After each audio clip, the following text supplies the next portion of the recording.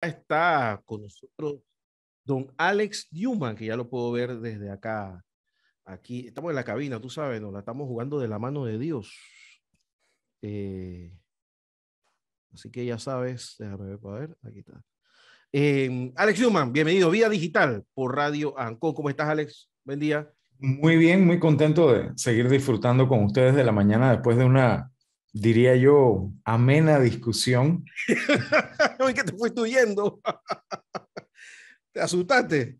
Eso es lo que hay antes. No, pero cuando, cuando tú ves que se discuten esos temas, tú prefieres eh, hacerlo desde una distancia prudente, ¿no? Eso no, yo te, yo te... Por, algo, por algo los radiólogos se ponen detrás de una cortina de plomo.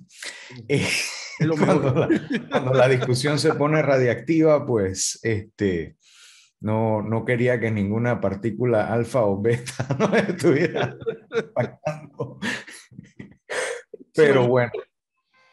Oye, Alex, este, bueno, bienvenido a Vida Digital, como siempre, ¿qué tenemos para hoy? Bueno, hoy tenemos varias cosas, pero la más importante es que ya contamos con eh, la presencia de una persona que tuve la oportunidad de ver en estos días eh, galardonada, en este caso Jessica Sáez, que es docente e investigadora del Centro Regional de Azuero de la UTP y que es eh, una persona que ha estado en muchísimos temas de comunicación científica y fue galardonada recientemente. Hay un artículo que estoy viendo ahorita mismo en la prensa por su labor en la divulgación de la ciencia, que es algo que yo siento que sobre todo en estos tiempos tan interesantes que vivimos, es sumamente importante, además de los esfuerzos que está haciendo tanto ella como la AAA, la IEEE y varias otras organizaciones a las que pertenece. Porque la he visto en varias entrevistas, es un honor tenerla acá, porque la he visto en varias entrevistas en los periódicos, toda una personalidad de la ingeniería en Panamá. Así es, y quiero darle las gracias a Candy por haber hecho el esfuerzo de, de, conseguir esta entrevista con ella eh, para que nos comente un poco sobre no solamente este galardón, sino el estado de la divulgación científica en nuestro país y en la región, los esfuerzos que se están haciendo, tanto para hacer llegar más y mejor información basada en evidencia a las personas y también para incluir a esos grupos que de algún modo u otro siempre han sido eh, excluidos de la divulgación científica, de, la experimentación, del trabajo científico. Eh, muy buenos días, gracias por estar con nosotros. Cuéntanos inicialmente, pues, eh, a qué te dedicas actualmente y cómo has llegado a este punto en tu carrera. Bueno, muy buenos días. Primero que nada, muchísimas gracias por la invitación a Vida Digital y a Radio Ancon Gracias por contactarnos y la verdad que estamos muy contentos de estar aquí acompañándolos esta mañana. Bueno, yo soy ingeniera en electrónica y telecomunicaciones, graduada de la Universidad Tecnológica de Panamá y con una maestría y un doctorado en ingeniería eléctrica de Texas AM University, de Estados Unidos. Eh, bueno, todo, yo me dedico a la investigación y al desarrollo tecnológico y en el camino, que fue cuando inicié en el 2016, eh, que regresé a Panamá luego de estudiar el doctorado, eh, descubrí eh, una pasión por la comunicación de la ciencia. recuerdo haber tomado un seminario sobre escritura científica y em, quedé como muy impactada con una frase que decía que la investigación no termina cuando nosotros ya tenemos los resultados termina cuando se comunican los resultados, cuando otras personas tienen la oportunidad de ver lo que hacemos. Eso a mí de verdad como que me llegó y yo pues eh, dije, esta es una forma de realizar investigación también, de realizar ciencia. Y empecé a participar en em, conferencias, simposios a nivel nacional, luego pasaron a ser simposios, conferencias a nivel internacional, veía pues cómo la gente recibía, el público eh, recibía pues los resultados que estábamos presentando. Y yo pensé, pues esto no debe terminar aquí, no debemos solamente comunicar nuestros resultados a los pares científicos, eh, personas que se dedican a lo mismo que nosotros o de repente de, de otras áreas del saber, porque para ellos pues es más fácil comprender lo que, lo que hacemos y lo que decimos. Esto tiene que llegar a toda la población, a toda la sociedad, porque en realidad el impacto que tienen las investigaciones que realizan los científicos, a fin de cuentas, va enfocado en resolver problemáticas sociales, ¿verdad? Culturales y de, otros ámbitos. Entonces, pues, eh, se me dio la oportunidad de formar parte de dos grandes asociaciones aquí en Panamá. Eh, el Movimiento Ciencia en Panamá, que estoy segura lo conocen, y la Asociación Panameña para el Avance de la Ciencia. Dentro de la Asociación Panameña para el Avance de la Ciencia, tuve la oportunidad de haber sido elegida en el 2020 como la directora de divulgación. Y fue allí donde nace pues toda esta este trabajo que hemos estado realizando por divulgar los resultados de los científicos, Luego, como parte, porque sí tengo muchos años de ser parte del Instituto de Ingenieros Eléctricos Electrónicos, el IEEE, sección Panamá, pasé a ser parte de junta directiva de la Sociedad de Comunicaciones como la vicepresidenta y en el 2021, 2021 asumimos la presidencia.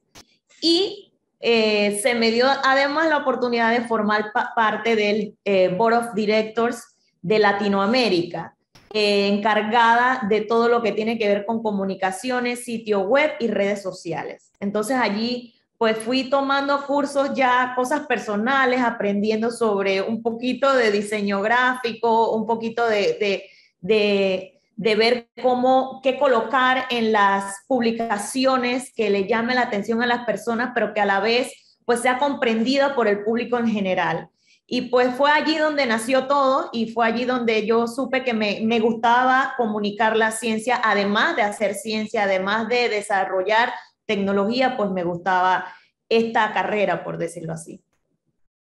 Ahora, hace unos 30 años, cuando eh, yo estaba en la universidad y también Guillermo, eh, había como un desbalance quizás en la cantidad de personas que optaban por las carreras científicas.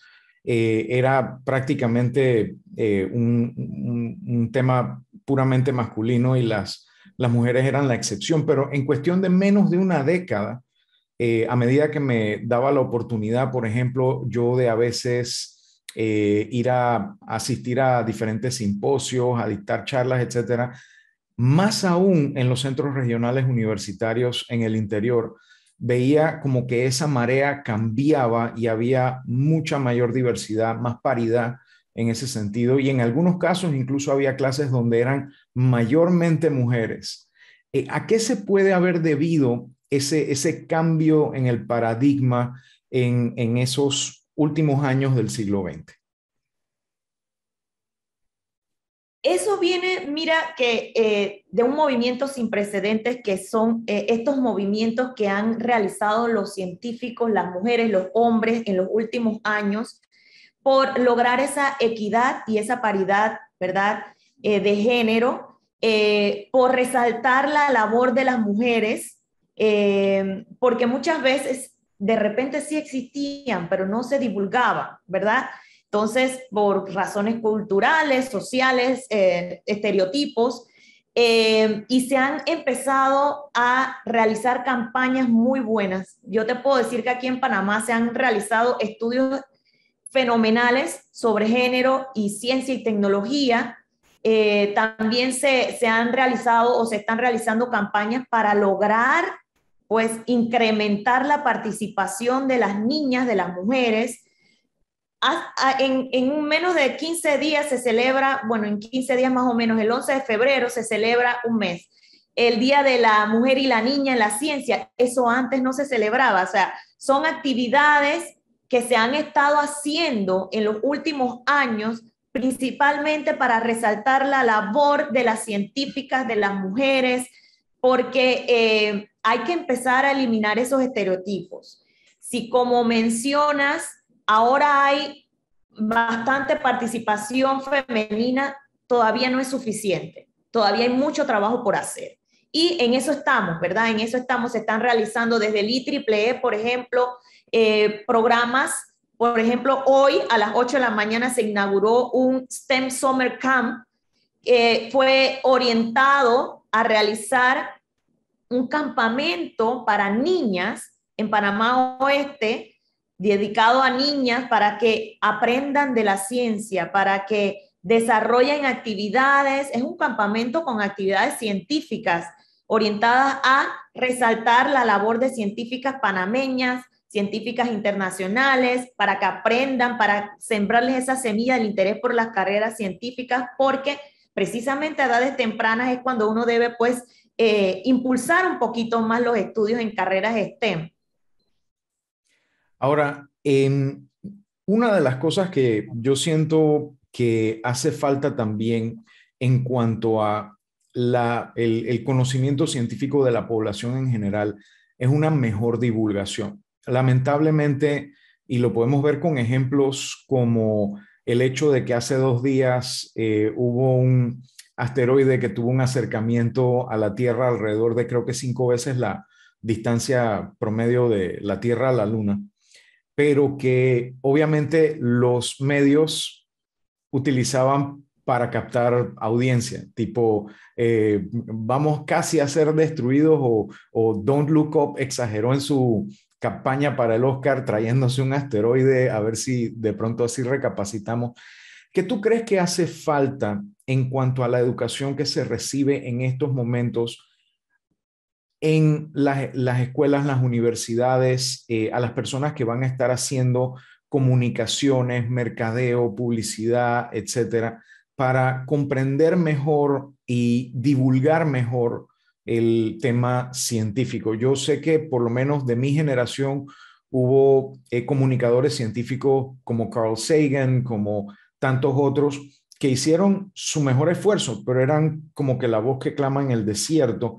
Lo mismo hoy en día con Neil deGrasse Tyson y varias otras figuras. ¿Hace falta más de estas figuras o cómo podemos nosotros educar mejor a aquellos que van a hacer esta divulgación o cómo podemos promover una mejor y también en más cantidad divulgación científica para el público en general? Sí, de hecho, eh, bueno, ahorita mismo hay una campaña, no sé si la han podido ver, de la Senacid, eh, eh, donde ustedes pueden ver banners todo alrededor de la ciudad de Panamá, en, todo el país, porque aquí en Chitré también he visto y en Los Santos. hablando de las noticias falsas, es, un término fake news que ha venido pues saliendo en los últimos años, sobre todo por cuestiones de la pandemia, porque pues somos muy vulnerables a creer información que nos llega por WhatsApp, que vemos en, en, en, Google o, o, en, otro tipo de redes sociales. Em, yo te puedo decir que la divulgación científica es diferente de la, del periodismo en general. El periodismo en general, pues sabemos que tiene que ver más con la inmediatez, las noticias que salen en un momento, lo bueno es divulgarlo. Ya la divulgación científica sí depende y nace del quehacer científico, entonces requiere un estudio, requiere un conocimiento acerca de lo que se va a divulgar y eh, para entonces resaltar esta labor de los científicos. necesitamos ponernos en el contexto de lo que vamos a divulgar. Entonces, en los últimos años, yo te puedo decir que en los últimos tres años he visto mucha promoción de workshops, de capacitaciones, de divulgación científica específicamente, e incluso eh, eh, diplomados en divulgación científica. Y es algo que a mí de verdad me, me llama mucho la atención porque quiere decir que vimos pues ese déficit en lo que es eh, esta profesión, porque es una profesión, y eh, se está tratando de tomar riendas en el asunto para que las personas que vayan a divulgar los resultados científicos o la, a, divulgar eh, noticias científicas estén preparados para hacerlo. Porque es cierto, tendemos, ya lo vuelvo y lo repito, somos muy vulnerables a noticias falsas y tendemos a estar repitiéndolo. Así que campañas como la que tiene la CENACID, campañas como capacitaciones, generación de capacidades, yo pienso que es importante que el, que el gobierno invierta en generar capacidades de divulgador científico, es decir, que, que pueda eh, generar una, eh, eh, unos seminarios, capacitaciones, porque la verdad es que sí se necesita pues mejorar en ese aspecto. Ahora, una de las cosas que hemos visto también en el pasado es que la adopción de nuevas tecnologías a veces por eh, lo que ya está establecido se hace complicado, pero llegan jóvenes. Eh, me refiero, por ejemplo, a, a Yudinga, Joel Batista y, su, asociación, eh, que vienen y dicen, tranquilos, yo me encargo. Y agarran y corren con esa pelota con pocos recursos, con poco apoyo, y de todos modos hacen un gran esfuerzo y llegan a tocar directamente de manera positiva la vida de muchas personas jóvenes y de todas las edades.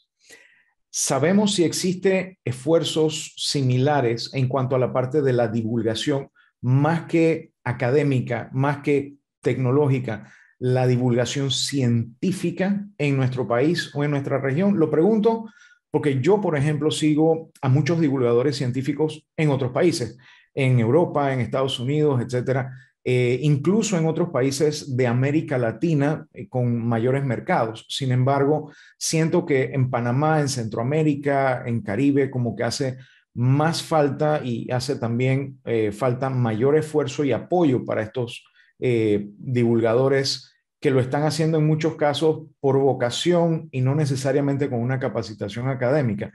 ¿Qué, perspectiva tienen desde el punto de vista de la, de la IEEE, de sus este, organizaciones dedicadas a la divulgación de estos potenciales que se pueden apoyar para también desde de abajo para arriba, así como de arriba para abajo, lograr un mejor conocimiento científico en la población en general.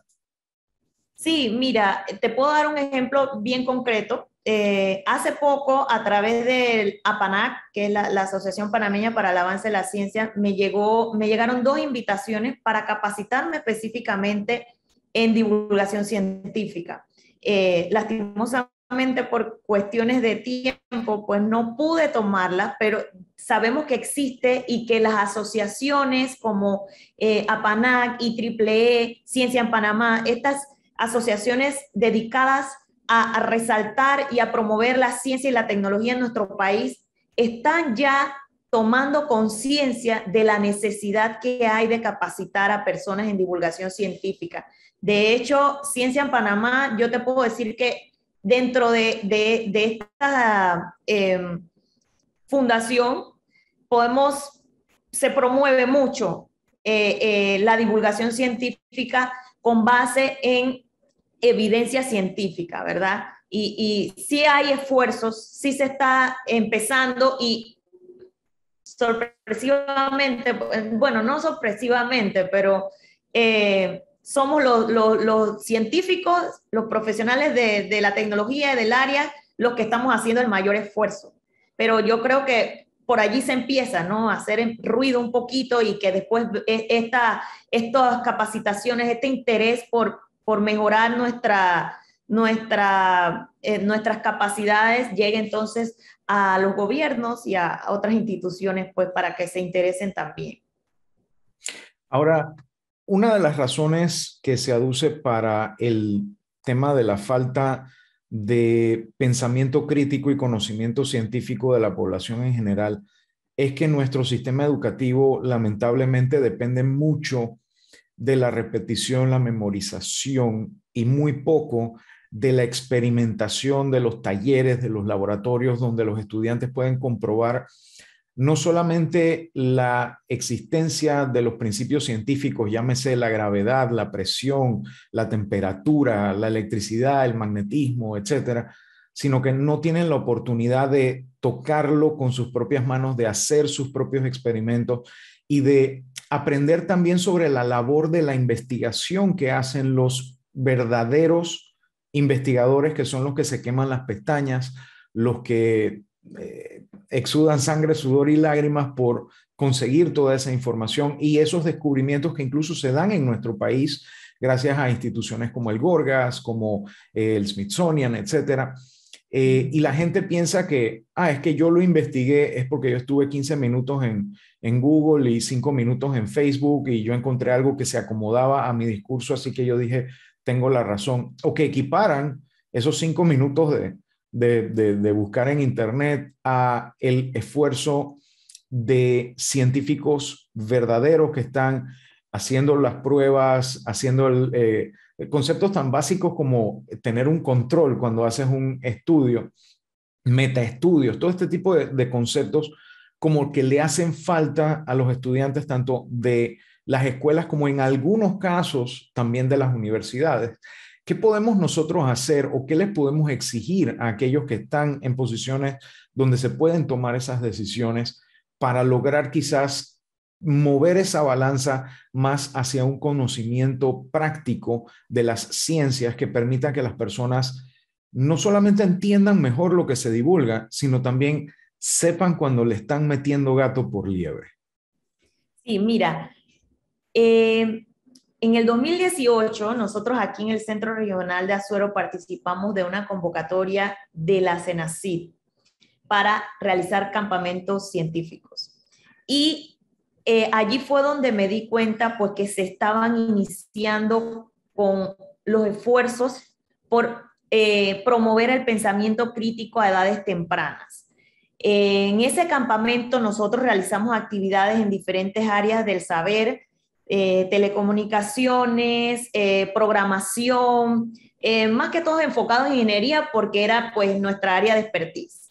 Y se les habló a los chicos de la teoría, de, la parte del método científico para, lograr los experimentos. Eh, se le dieron ejemplos, charlas acerca de profesionales de esa área actuales que, estaban, que están realizando eh, cosas muy importantes en las diferentes áreas y también del pasado. Eh, el IEEE cuenta con un grupo de afinidad que se llama Mujeres Ingeniería, WIE. Este grupo tiene años de estar realizando un programa que se llama el programa STAR, ya lleva dos versiones. Además de eso, tiene libros eh, promoviendo más que todo el pensamiento crítico. Son campamentos o programas dedicados a eh, despertar el interés, pero a la vez enseñarles el método científico, creatividad, eh, muchas cosas que hacen falta pero que gracias al trabajo de este grupo de afinidad se ha podido trabajar en conjunto con el Ministerio de Educación. El, otro campamento que te comenté, STEM Summer Camp, que es organizado por jóvenes, esto a mí me fascina y lo menciono porque es organizado por jóvenes, es el grupo de afinidad Mujeres Ingeniería, pero de la UTP, es una rama estudiantil. Y ellas, estas chicas, están eh, desarrollando campamentos científicos y de emprendimiento. Ellas me estuvieron mostrando todos los experimentos que realizan sin darles todas las herramientas para que pues tengan hands-on en lo que van a, experimentar, pero que a la vez piensen y razonen y concluyan, porque al final tienen que hacer conclusiones de los experimentos y de las cosas y decir que aprendieron, en qué fallaron. Eh, también en, conjunto con el Ministerio de Educación y otras instituciones educativas. O sea que sí se están haciendo esfuerzos eh, por parte del gobierno, por parte de asociaciones eh, científicas, pero bueno, sí hace falta más, promoverlo más, sobre todo en aquellos que son los que se dedican a educar a los niños, a las niñas, a los jóvenes, es decir, capacitar a los profesores que dentro de estos programas que yo te comento se capacitan a los profesores, se tienen mentores, se tienen asesores de todos los experimentos, personas que van y le presentan, eh, le hablan, por ejemplo, de alguna ingeniera famosa en Panamá, de algún científico panameño que está desarrollando X experimento, pero que a la vez hace falta trabajar más en conjunto con los maestros, con los docentes, porque al final de todo el campamento dura unas semanas, pero los que están dedicados pues a, compartir la información el resto del año son los docentes y eso es lo que tenemos que pensar pues en capacitar también. es interesante lo que mencionas sobre los campamentos y estoy seguro que muchas personas pueden estar interesadas en esto. Mencionaste también, por ejemplo, APANAC, la Asociación Panameña para el Avance de la Ciencia. Estoy viendo su página web apanac, apanac.org.pa, eh, para las personas que necesitan más información. ¿Qué otros sitios web pueden visitar tanto padres como docentes, como comunicadores que están escuchándonos, que nos están viendo en este momento y que tienen el deseo de poder conocer mejor estos esfuerzos, aprovecharlos y de ser posible mejorar también sus propias capacidades para comprender, para comunicar la ciencia. Sí, mira, está el sitio web de IEEE, IEEE Panamá. Eh, lo buscas en, en, Google y te debe salir el sitio web eh, y dentro de IEEE, pues hay varias sociedades que cada una tiene sus redes sociales. Está la Sociedad de Comunicaciones, que es la que, la que estamos presidiendo en estos momentos y estamos en Instagram, en Twitter. También tenemos una página web dentro del sitio web de Panamá eh, que se llama, bueno, las redes sociales arroba eh, Comsoc Panamá, porque es Comsoc de Communication Society. Eh, también está el sitio web cienciaenpanamá.org, ¿verdad? Que es el, del otro grupo eh, de científicos que se dedican pues a resaltar y a divulgar la ciencia. Em, están, por supuesto, que los sitios web de las universidades, utp.ac.pa, eh, si entran allí y se van al área de investigación, al área de, de bueno, ya están también la parte académica, la parte de las noticias, se pueden ver noticias muy importantes. Em, obviamente la CENACIT, ¿verdad? Eh, eh, donde se encuentran eh, las oportunidades de estos campamentos también. Em, dentro del IEEE está, si colocas WIE, que es Women in Engineering, Allí encuentras entonces que eh, dentro de ese grupo afinidad eh, las oportunidades de estos eh, campamentos que te menciono. Existen muchas oportunidades. Ah, yo sé que Ciudad del Saber, que Senací tiene también más campamentos, más oportunidades que no las manejo todas, pero yo sé que visitando estos sitios y también asesorándose con personas que, que conozcan, con científicos, con personas que nosotros, mira, a mí me, me pueden llegar personas que yo desconozco, que no conozco, personas preguntándome, eh, eh, ay, mira, mi hijo quiere estudiar esto, mi hijo quiere participar en esto, ¿cómo hago? Te aseguro que si te acercas a un científico, con mucho gusto le vamos a estar eh, ayudando y guiando porque es parte también de nuestra labor, ¿no? Que buscar esa continuidad del trabajo, ese relevo generacional nosotros queremos que los estudiantes pues participen de las becas. Hay muchas becas también eh, para estudiar tanto a nivel nacional como a nivel internacional. Carreras que tienen que ver con, eh, carreras que, son eh, de áreas específicas que ya sabemos que se han hecho estudios, que se necesita generar más capacidades en estas áreas. Hay muchas, muchas oportunidades de becas también. De verdad que estoy muy agradecido por toda esta información. Estoy viendo ahorita mismo algunas de las páginas en el otro monitor, itriple.org diagonal Panamá, entre otras de las que mencionaste. Yo voy a estar compartiéndole los enlaces a nuestra audiencia en nuestras redes sociales, arroba vida digital en casi todas, arroba Alex Newman en Twitter. También lo vamos a estar compartiendo con los amigos de Radio Ancon para que eh, se lo puedan compartir a su, a su audiencia. Ahora, el que te quiere seguir en redes sociales, ¿dónde te puede seguir?